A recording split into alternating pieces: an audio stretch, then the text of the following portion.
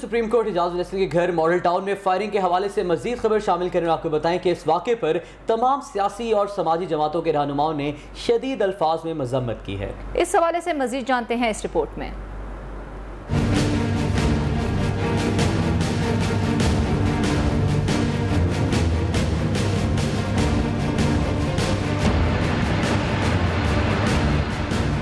Firing کی اطلاع ملتے ہی justice Umar Bandial, justice Mazahir Ali Akbar, justice Sheikh Azmat Saeed ان کی رہائش گاہ پہنچ گئے۔ دوسری جانب، وزیر اعلیٰ پنجاب میاں شہباز شریف نے از خود نوٹس لیتے ہوئے آئی جی پنجاب سے رپورٹ طلب کر لی۔ پاکستان تحریک انصاف کے چیئرمین عمران خان کا واقعے پر اظہار مذمت، جبکہ پاکستان پیپلز پارٹی کے چیئرمین بلاول بھٹو نے واقعے پر اظہار مذمت کرتے ہوئے ملزمان کی گرفتاری کا مطالبہ کر دیا۔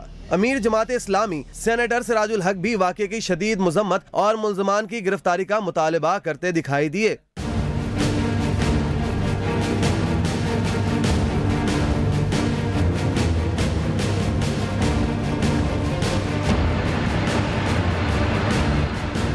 پاکستانی عوامی تحریک کے سربراہ ڈاکٹر طاہر القادری کی واقعے پر شدید مذمت کا اظہار، جبکہ پاکستان میڈیکل ایسوسیشن نے واقعے پر اظہار افسوس کرتے ہوئے ملزمان کی گرفتاری کا مطالبہ کر دیا۔ تمام سیاسی و مذہبی جماعتوں نے عدلیہ کا تحفظ یقینی بنانے کا بھی مطالبہ کیا۔